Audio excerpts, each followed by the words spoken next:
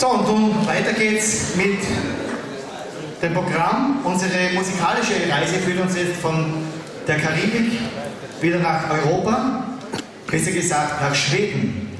Es handelt, na, vielleicht es nicht ganz richtig jetzt im Moment. Es handelt sich um, nämlich um eine Hard-Rock-Gruppe. Sie haben mit ihrem Hit, den Sie heute hier bei uns vorführen, äh, in den Charts 22 Wochen lang in Österreich die Charts angeführt. Und jetzt geht sozusagen die Post hier auf der Bühne ab. Für Sie oder für uns Europe mit The Final Countdown.